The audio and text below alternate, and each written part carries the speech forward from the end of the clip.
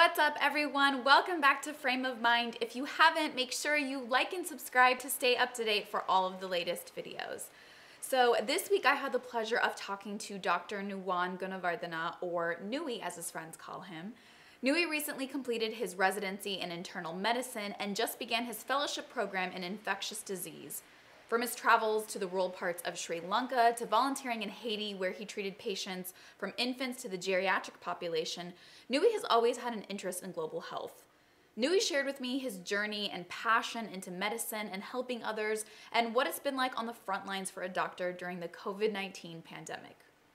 Thank you again. Seriously, seriously, thank you so much for doing this. I know you were so busy, and I really appreciate you talking to me. I'm happy to be here. oh my God. Yeah. Well, okay. So for people that don't know you, um, do you just want to like say a little bit about um, your background and what you currently do and what you're um, studying and working on now?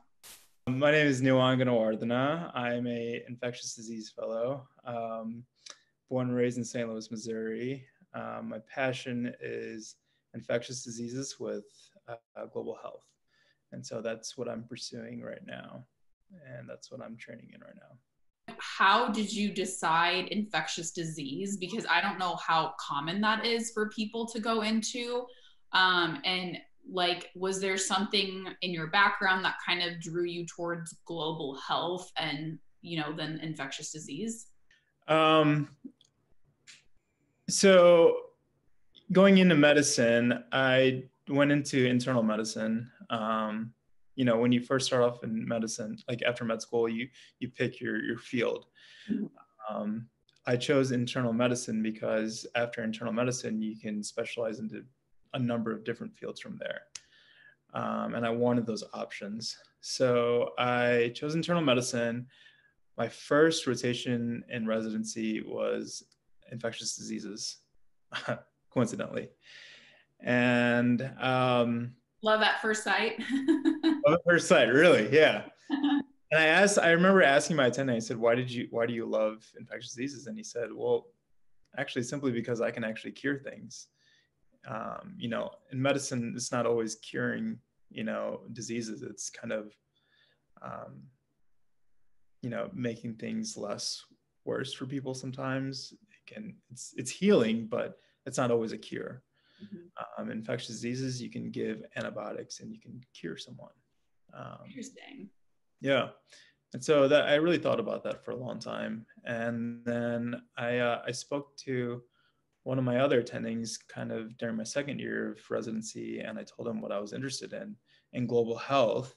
I didn't know that I was going to go in infectious diseases at the time, but I really wanted to go into global health and he told me I should think about infectious diseases. So I did my research, and you know, lo and behold, seventy percent of what you see in, uh, you know, when you're practicing global health is secondary to infectious etiology, to infectious etiology. So I put two and two together, and you know, I fell in love with it. And I said, you know, I love infectious diseases in general um, from the get go. So I think this is going to be my career path. So um, I decided to stick with that, and now I'm uh, in it. Yeah, now you're like you're in it during a pandemic, right? Like studying infectious disease. I feel like now more than ever, we need more people to be going into this. Um, exactly. do you do you are there a lot of uh like doctors and other med students is this like a popular field um I think, you know, it's it's a field I think people are very you don't you don't go into infectious diseases for the money. Mm-hmm. Um, it's not one of the fields that you know within medicine that you know has a high compensation. You do it because you're passionate about it, um, and I think you know in medicine in general you should whichever field you pick you should always do it for the passion not for the money um, and I know and within infectious diseases, people are really, really passionate about it. Um, so you kind of have to love it to go into it. And from the people that I've worked with, they're all very, very passionate about it. um, and they're all very enthusiastic about it. And I think that's what makes a great doctor. Could you ever imagine that you would be on the front lines of a pandemic, um, uh, like basically working, you know, to figure out this new infectious disease of, of sorts that has like spread throughout the world? I mean, I'm sure like you probably never imagined that you would be on the front lines of this, right? No, no one ever expected this. yeah. uh, a pandemic once in a hundred years to hit, and I didn't expect to be infectious diseases during a pandemic uh, five yeah. years ago. But this is where I'm at, and I'm actually very grateful to be in this field um, to be able to make a difference and to be able to help people. Um, everyone, not only infectious diseases, but everyone in every specialty in medicine um, not only physicians but nurses, respiratory therapists, um, and just the general staff of the hospital. We all make a difference um, in different ways, and we can't do our jobs without each other. So, um, being in medicine during this time has definitely impacted a lot of us mm-hmm. different ways in positive and negative ways but we're all in it together and you know we can't always get what we want you know in these situations what is the experience like as a physician or just you know your other coworkers and nurses working in the hospitals on the front line every day like what is it like for you emotionally and mentally uh, when the pandemic first hit back um, when we first started getting our first patients um, that I saw, which was back in March, it was completely eerie. Mm-hmm. I didn't really know what to expect, and we didn't have any knowledge of the uh, of the virus back then, and so I don't. You were just kind of like I remember going to my first room, and it was very eerie, as in I didn't know what to expect no one else knew what to expect and i was being extremely extremely cautious of everything that i was doing mm-hmm. um, and now i've seen so many covid patients that looking backwards you know it's amazing how much we didn't know and how much we know now. We still don't know a lot. I mean we still we know a lot but we still don't know you know everything about the virus. And we don't know you know things going forward too. So that's time can only tell. And you know with the immense amount of research that we have going on um, i'm excited to see where we'll be at in a year or two and even 10 years um, back in the 80s we had our own little pande- um, uh, our own little uh, pandemic with um, hiv Mm-hmm. And, um, a lot of the physicians that you know are a little bit older now, they dealt with that in the 80s, and this is kind of like our generation too. Uh, this is you know our experience with this pandemic, um, and they didn't know much back then with HIV when it first hit, and it's crazy how HIV back then was a death sentence. Yeah. And, and now it's you know it can be managed as a chronic disease that you know if you're taking your medications every day you're less likely to you know pass away from an hiv related illness than you know something else like cardiovascular disease or diabetes you know? Um, once the world comes together and does research and you know put their heads together it's amazing how much you know you know we can accomplish. So much has changed. And we you know medications have changed management has changed it was before it was all about early intubation and now um, you know we had limited knowledge back then and now you know we reserve intubation you know more of like a last not last resort but you know something that we do, you know, if they're really decompensating fast and, you know, you have less you know, less things to work with. Um, but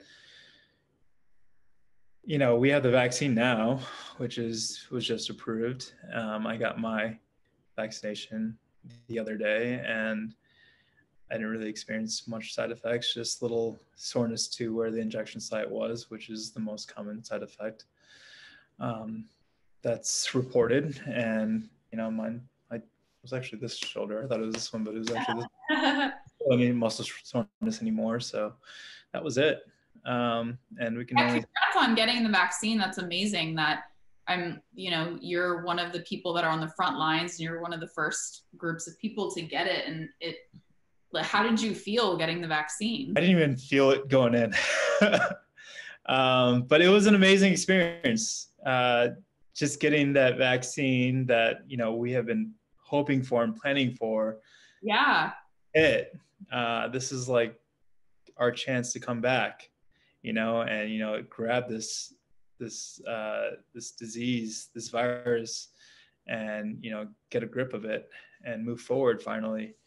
Um, I think that's our this is like our major chance to coming back now, and hopefully more people will get vaccinated, and they will trust science and they will yeah. trust evidence-based medicine, and you know, not hold into you know misinformation and rumors that are circulating you know trust your physicians trust evidence-based medicine um, because these aren't just theories or anything. These are you know medication and vaccines are done in a clinical setting.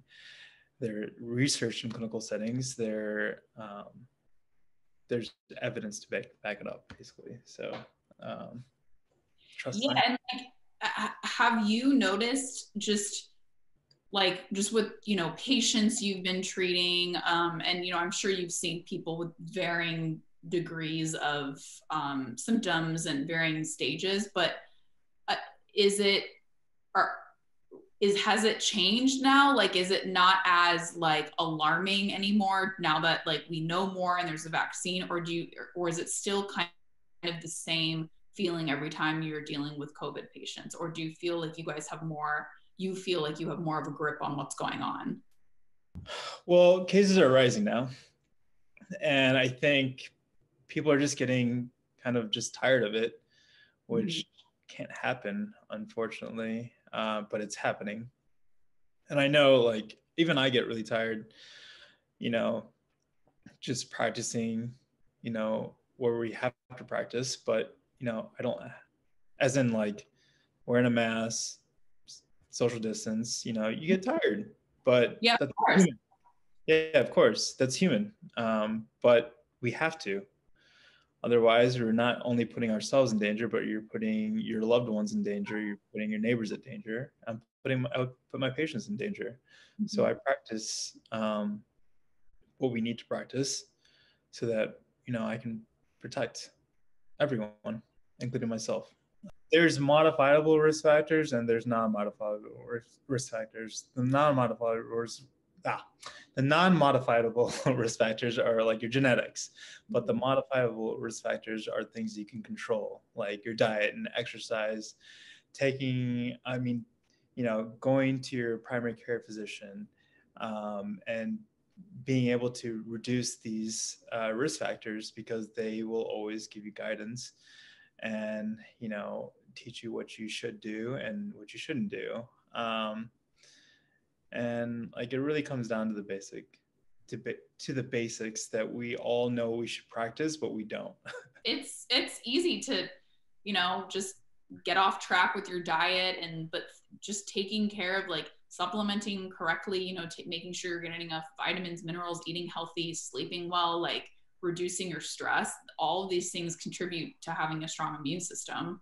Absolutely. um, and absolutely. is there is there one thing that um like what would what would you say is one of the biggest things that you have learned just working during this pandemic? Ooh, like either about yourself or just about you know people coming together in general yeah there's a lot that I've learned during this pandemic, but I think the main thing is staying positive uh, because there's a lot going on right now, Mhm. and there's a, especially this year has been a huge downer for everyone. Mhm. Um, but you know, you can always look at the glass, you know, half empty, or you can look at it half full. I always choose to look at it half full. Be thankful for what you have. Be thankful for the people who are in your lives. Uh, be grateful, um, and you know, enjoy the relationships with the people that you have, um, because they're not, you know, they might not all, you know, be there forever. Mhm. Especially during this pandemic, you know, we've learned a lot of people have loved have lost their loved ones have lost people that you know they've known for a long period of time but Yeah, and they can't even necessarily be with them too, which is that's what's even more heartbreaking about this. yeah it's divided you know it's it's put us you know it's distanced us a lot. Um, it's secluded a lot of people too. Um, i mean i'm i just go to work and i come home. I don't do anything really Mhm. I go running, but that's pretty much it. Um, I used to, you know, go to restaurants and, you know, like you, you know, enjoy our life. Um, Yeah. More social and all of that has changed this year.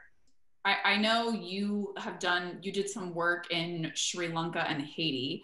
And so like kind of going back to global health and you traveling and getting to have these experiences, um, just tell me kind of what was your experience like going over to a you know a third world country and actually being on the front lines there and working with patients. I haven't done too much in Sri Lanka. I've done more. I did. I went. I did a medical trip to Haiti. Okay. Um, Haiti was a, an experience that I will never forget. Um, I went there during it was April 2019. Mm-hmm. I was supposed to go a little bit earlier, but there was some um, some political things that were going on during that time, and it was safe for us to go, so we had to cancel our trip. Um, we had a little pocket of time that we found uh, moving forward from there, and it was safe. It was deemed safe to go during that time. Mhm. So the group that I uh, went with the organization, you know, they reached out to back out to me and my actually my roommate at the time Mhm. during residency, and they said, you know, are you still interested in going? Um, given the fact that it still might be a little dangerous, but you know, we're doing this, you know, to help people, and I was like, yeah, absolutely. And so we ended up going. Um, it was six hours away from Port-au-Prince Okay. where we practiced and it was like in a small small rural village in the like near like the hills in haiti um, in a very rural rural area. And we saw up to 200 patients a day between five or six of us. Um, and you saw really anything that walked into the door meaning so i i did my residency in internal medicine which is 18 and up um, in these situations, you're the only physician there. So you saw everything, meaning children, uh, you know, infants, um, and you treated everything like different fields too. Um, but I mean, I you always do whatever you're comfortable with, and you ask with, you know, others around you, your teammates, uh, in situations that you're uncomfortable with. But it puts you in a position of discomfort which is actually a great motivator um, and it makes you trust your gut. Um, and it kind of helps you grow as a not only as a physician but as a person because you need to have confidence in yourself and you need to have confidence in your skills. Um, over there we didn't really have much internet so we had to bring our books. Um, So you couldn't Google something quickly, right? You have to go back to your book and look it up. you have to look up things. um, you know, it, I mean, in medicine, we always, you know, working in like an academic setting, you have you're working in a multidisciplinary setting. So you have a pharmacist with you, you have nurses with you, you have respiratory therapists with you. Over there, we didn't have the privilege to be working in a setting like that. So you had to, you know, we had some uh, people that were trained in pharmacy, but you had to also kind of figure things out yourself.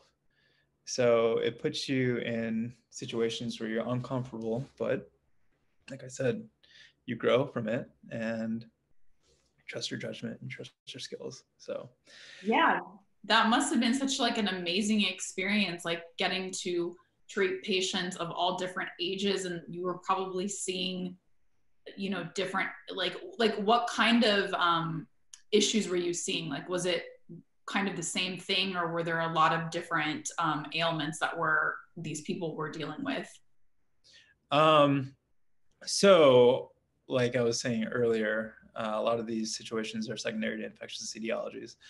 So i dealt with a lot of infections. Um, i dealt with trauma, uh, people coming in with, you know, neck lacerations, uh, open depressed uh, skull fractures, um, people that are bleeding out. Um, and some of those situations we couldn't handle it in our clinic and we had to send them out to, you know, uh, to the ER that was kind of a long ways away. But, you know, that was their best, in that, that situation, that was their best chance of survival.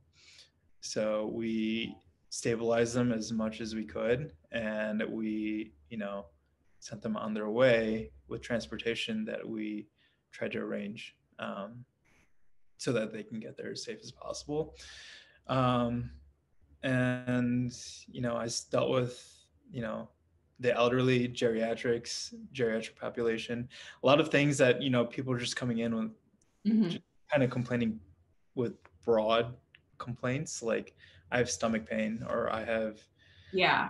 I can't breathe um, and you kind of you don't so you're working in resource resource limited areas and you know like I was saying you had to trust your judgment. So you don't have x-rays you don't have you know blood tests you don't have lab values. And so you have to kind of improvise at that moment and wow. figure yeah um, it was an amazing experience and i you know encourage everyone in medicine to try and you know eh, you know pursue these um, medical trips if they can. It's very uh, it's a it's an experience that you will never forget and you will grow as a person um, and as a clinician. So that's what i want to actually do uh, in my future as well. when you left that trip um, in Haiti, did that just like solidify yeah. Sort of everything? Like you're like, did, like I know that I'm making the right decision. Did you feel like that? It did. I didn't want to leave. mm-hmm.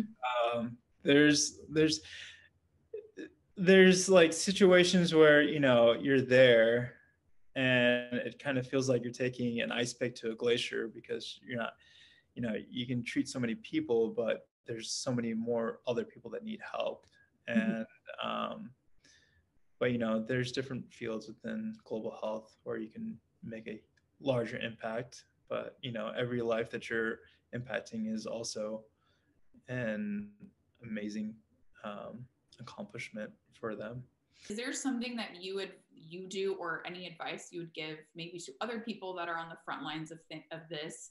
Um, like any tips or things that you do just to kind of cope with everything that you have to deal with mentally? Because i know you guys are seeing and dealing with so much more than the rest of us because you're actually on the front lines of these things and it must get a lot to deal with mentally. Uh, yeah medicine right now can be very draining. Um, but we're all in it. We're all doing it.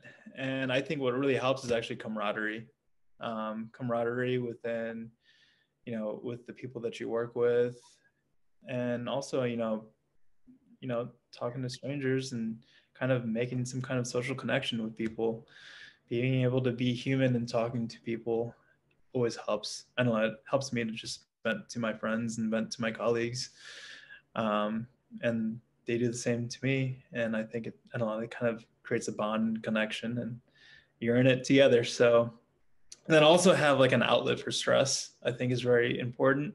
Mm-hmm. i like to exercise. Uh, i've been bad about it recently just because um, work's been you know more hectic these days with you know the pandemic raging but when i do get time it completely you know revamps me and sleep also is very very important. Oh yes. Sleep is definitely an important one.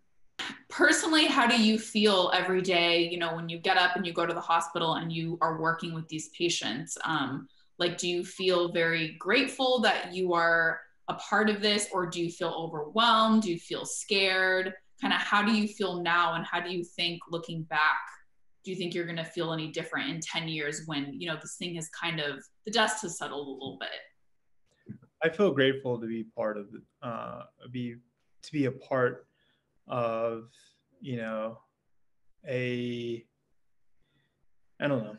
I feel grateful to be a part of something that will really make a difference um, moving forward and then also looking back.